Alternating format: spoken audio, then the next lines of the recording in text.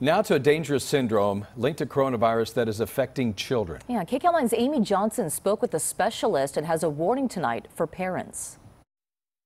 A rare and mysterious illness that appears to be linked to COVID 19 has been found in young children around the country, including three here in the Southland who were treated at Children's Hospital Los Angeles. So none of this is unique, but we need to understand it uniquely within this particular disease and it is certainly worrisome. Dr. Jeffrey Galpin is an infectious disease specialist. Most of the children who have come down with the unusual illness didn't appear to have the same symptoms associated with COVID 19, but they tested positive for coronavirus or the antibodies. Some people may be partly immunized, some may have mild disease and get a certain amount of immunity, but not enough.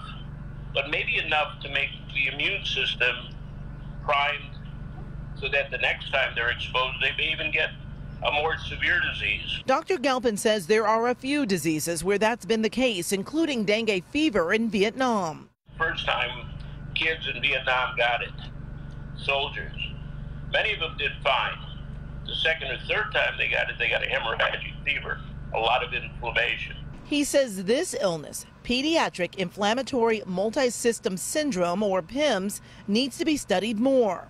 What's the immunity that might trigger it?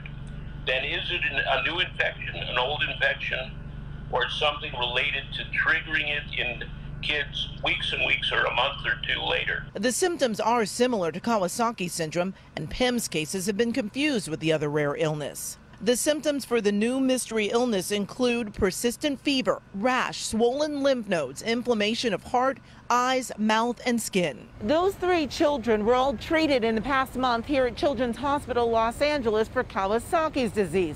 They have since been tested for the antibodies of the coronavirus, and each one tested positive. We are today beginning a survey at all of our pediatric intensive care units uh, to make sure that uh, they haven't identified a similar syndrome. Unfortunately, the one age group that didn't appear to be hit so hard by the coronavirus is anything but immune.